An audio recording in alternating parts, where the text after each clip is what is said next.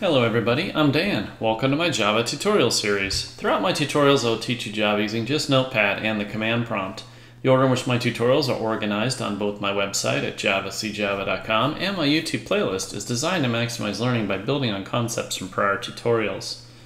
This tutorial is part two of my regex character classes. I'm going to open up my web browser to my website, javacjava.com, select begin, and scroll all the way down here to the regex characters part two. Now in this tutorial, we'll build on concepts learned from my regex characters cla character classes part one tutorial. I'll be covering unions, intersections, and subtraction in this tutorial. Now I highly re recommend watching this tutorial prior to this one here so everything makes sense there. Okay, let's first talk about unions. Unions are basically nested character classes contained inside square brackets. All right, so for example, um, for this particular pattern here, the regex pattern here, we've got the vowels A, E, I, O, U, right? And then we've got a nested range one here, 0 through 9. So we're basically just wanting to count all of the vowels and any numbers 0 through 9, okay? So checking out the vowels here, we got one, two, and three right there. And then checking out the numbers, we got the number five and one right there. So that returns back true, five finds. Now there's also a shorthand method of doing it here, which is A, E, I, O, U, and zero through nine, right? The, the regex pattern on that, it'll, it'll know that this, because of this dash right here, that it's got zero through nine is not, you know, AE9 zero dash nine it's this dash is special. You know, it's um, a special meta character here, so indicating a range. So this this whole entire thing doesn't mean you know A E I O U zero dash and nine, which wouldn't return back five and one because of course it knows this is a range, right? So this is kind of a shorthand way of doing it. But I kind of I think this is more readable, and I highly recommend kind of getting the habit of doing that. But you'll see a lot of people do the shorthand method to me, it's kind of I don't know a little lazy. It only saves two keystrokes, so but it uh, it's definitely more readable like this. Um, but anyway, so it'll return the same result, five finds. And here's another example here, like if we want to only count the lowercase letters A through Z and the uppercase letters A through Z, this is the shorthand method of doing it. And on Java tutorials, this whole entire string is 14 characters long. The one that it isn't going to find is this one right here. You get true and 13 finds. And then, of course, here is the, um, kind of call it the proper way, my preferred way, uh, we'll say on that, right? Okay. So that's, that's basically what a union is. Now, don't use negation in unions, and that's the, I'm gonna, I'm gonna come down here to the subtraction portion of that, and you might be tempted to think, okay, if I do A, E, I, O, U, and then I do not 0 through 9 on five lines for a dollar, that it's going to find um, this AEIOU, which will be like one, two, three, right? And then not the numbers five through nine.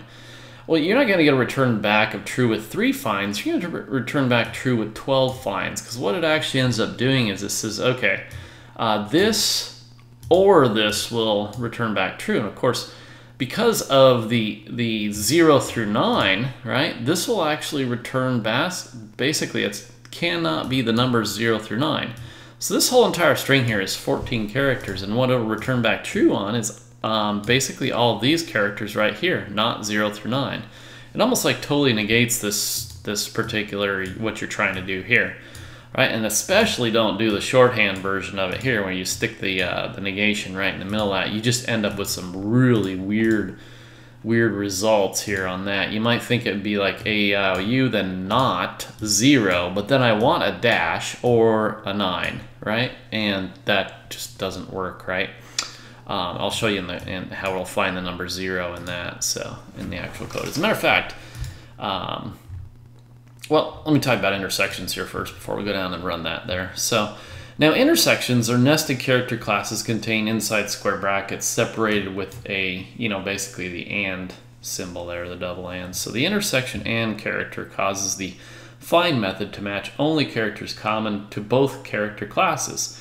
Now, in my opinion, intersections are somewhat strange and somewhat useless, but I'll demonstrate how they work anyway, okay? So let's say, for example, we have A, E, I, O, U, right? And then AND, and then this character class right here, A and E. Well, it's going to return back three finds, right? Even though for vowels we have one, two, three, four, five, and six, right? And you would think that, okay, we want this and, but what does this mean? This just means, okay, we're only going to find stuff that's common to both of these classes. So here's a class right here, a character class. Here's a character class right here. The only ones that are common are A and E. Now we don't have any E in Java tutorials, so we're only going to come back and find three, um, three finds, okay? That is absolutely no different than how we just done this in the first place, right? So you can kind of see that's what I'm talking about, useless, and I'll demonstrate that in the code there.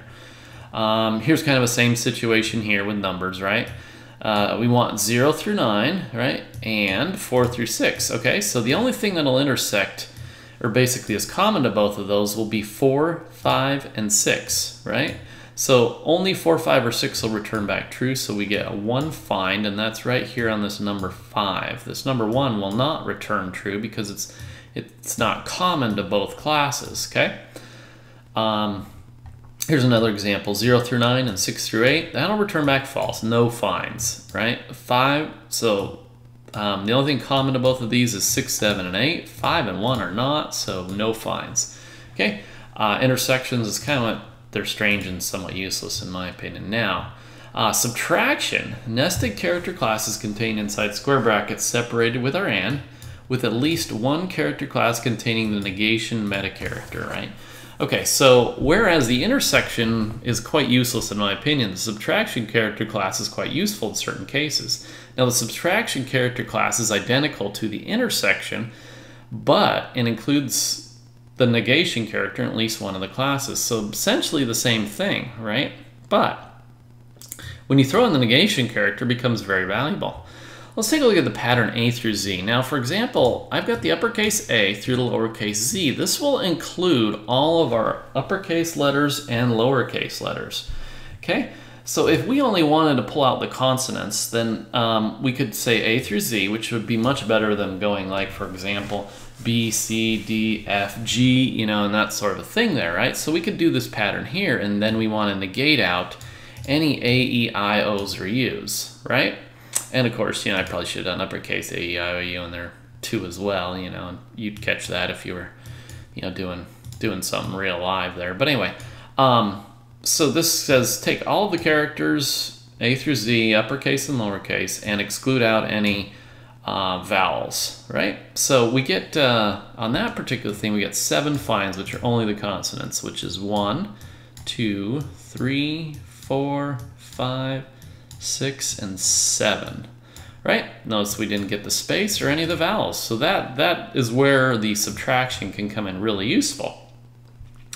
All right, so let's talk about um, how do these ranges work? When I do A through Z like that, right? Um, a lot of people think, oh, okay, that's super, right? Well, we have to come back over here. Um, this is my char data type tutorial up here. And basically I put an ASCII chart down at the bottom down there, right? And if you haven't watched this, it's kind of, it's definitely worth it there, right? So the ASCII uppercase A is equivalent to 65. So when you're doing a range, right? And you're starting off at A, right? And you come all the way through here and you got your letter Z, what you'll notice is before you get to lowercase a, which is 97, crammed in between uppercase z and lowercase a are all of these characters right here. Left bracket, backslash, right bracket, caret, underscore, and of course a little accent there. Um, so, coming back over to the regex pattern, guess what's included in here when we do this, right? So, if, for example, if we change our matcher string to underscore and then left bracket, right bracket, and all of those are, of course, sandwiched in between our Z and our A, uppercase Z, lower A there, it will come back true and it'll do 10 finds because these actually match our A through Z pattern here, okay? So it's important to understand what the range is actually doing and how that works with the ASCII chart there. All right, um, now, let's talk about probably the most proper way to have done this here, and that would be A through Z lowercase, uppercase A through Z, and then if we run it on, like, for example, Java tutorials here to only pull out the consonants, we're going to get seven finds. It's going to exclude these because they are not in the range anymore because we specified A through Z and then upper A through Z, right? And then not lower A, E, I, O, U, the lowercase vowels there, right? And of course, throw in the uppercase A, E, I, O, U too as well into there, and that would work too as well. Give us exactly what we're looking for. All right, let's come down here to the source code. Let's highlight everything. Control C to copy or right click and select copy. Let's move the browser off screen. I've got a shortcut to the command prompt on my desktop here. Since you're watching part two, I know you've already got that set up and going, so we'll just pop right into this cd backslash cd java. Right, uh, we're gonna make a directory here called characters, ah, oh no, uh, sorry, regex characters 2. Okay, change directories to that folder. Notepad, RegEx characters2.java, name of our source code file. Let's paste this in here and let's come down here, save this and run it. Now let's compile it first, of course. All right, let's scroll all the way back up to the top here. And, um, you know, for AIOU, 0 through 9 and string 5 lines for a dollar, right? We got our five, our IEO, our vowel matches on that, right? And then our 5 and our 1 there. So that's all pretty good there. So our A through Z, and just showing you know that the shorthand method returns back the exact same thing as, so here's the shorthand method right here. Here's the, the kind of detailed out preferred method in my opinion there, right? Same thing. Shorthand here, preferred method right here, okay? Let's come down here to the negation thing, right? And um, by doing this sort of negation, basically the AEIOU, right? Um, those don't even matter anymore. It's basically not 0 through 9, which comes in on 5 limes for a dollar, right? So basically you get your space, limes, space, 4, space, and then your dollar sign. So, um, you know, the AEIOU specifying we only want those. Obviously, you know, we got an L in there, so that didn't even make a difference on that. So don't use negation in unions. Use negation and subtraction, okay? All right, and then if you throw it right in the middle of it here, you just get really weird results. I can't even explain what it's doing right there. It's so, so bizarre. Okay, once again, don't use negation in unions. Um, and when I say unions, right, I'm talking specifically about this right here, unions, right, where you don't have a negation in it at all, right?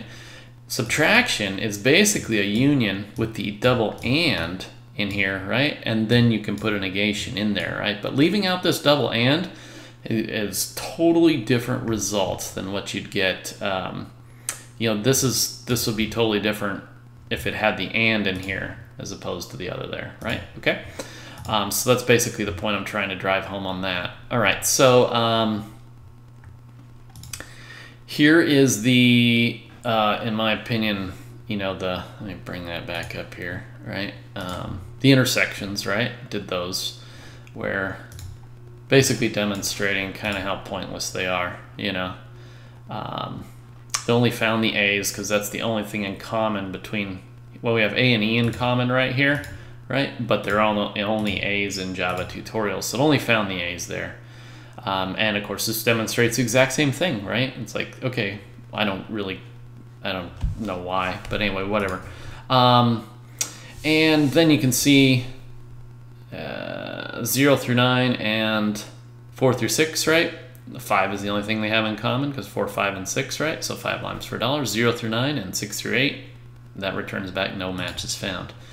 Okay, so now onto the negation, which is which is pretty cool there. So on the first first thing where we're just doing uh, uppercase A through lowercase z and not A, E, I, O, U on Java tutorials, we get back all of our consonants, J, V, T, T, R, L, and S, right?